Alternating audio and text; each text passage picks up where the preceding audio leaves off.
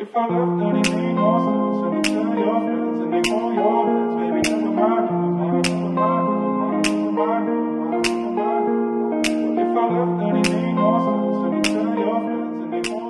So I usually find when I've uh, when I've got something on my mind, it either comes to me when one I'm in the shower, or two when I don't have my camera on me. Uh, good news today, I've got my camera on me.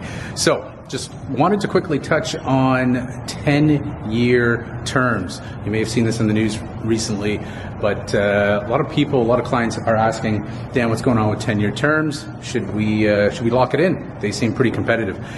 Uh, my suggestion is you might want to reconsider. Um, majority of Canadians are actually breaking their mortgage within 36 months, so three years in.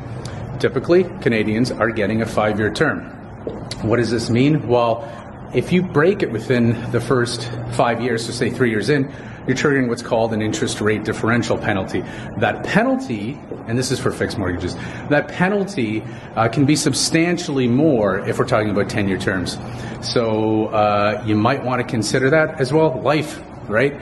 Life changes. You might not be in the same spot uh, in 10 years. So again, you want to take that into consideration and all the options that are available on the longer mortgages.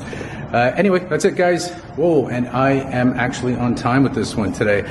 So hope you're having a great day, and we'll talk to you soon.